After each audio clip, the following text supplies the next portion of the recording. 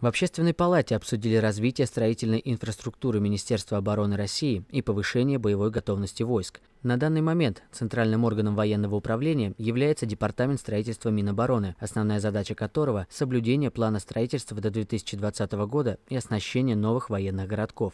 Часть вопросов касался непосредственно э, строительства э, объектов, э, касающихся именно обороноспособности страны, это строительство полигонов и других, соответственно, военных объектов.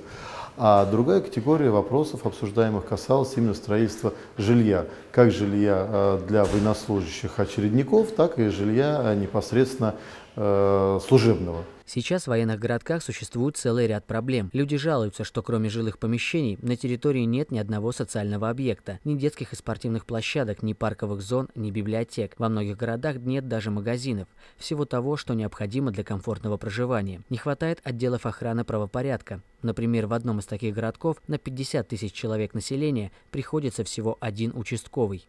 Большой объем предусмотрен э, как э, строительство социальных объектов, так и строительство специальных объектов.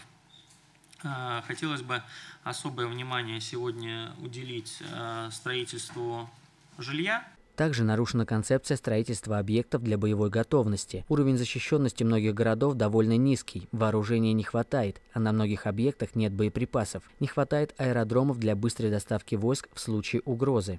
Для решения накопившихся проблем внесли ряд предложений. Было решено создать все необходимые условия для размещения личного состава войск, организовать капитальный ремонт существующих городков и начать строительство новых объектов современного типа, а также ввести в план строительство специальных и социальных объектов, столь необходимых для комфортного проживания семей военнослужащих. До конца 2014 года обещают закончить строительство 50 новых военных городков, но уже с этого года решено ужесточить контроль над объектами, готовыми к эксплуатации эксплуатации. Количество жилья для военных в Москве и области также увеличится. В текущем году 27 тысяч семей получат ключи от новых квартир.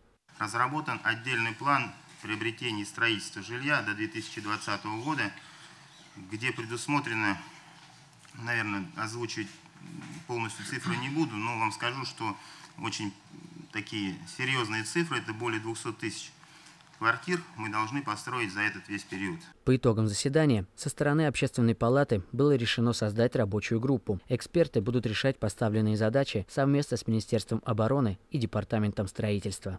Договорились о том, что э, будем непосредственно выезжать на конкретные объекты э, строительные Министерства обороны, где есть какие-то недоделки или же долгострои какие-то определенные. Будем вместе выявлять те проблемы, которые существуют, и находить пути решения.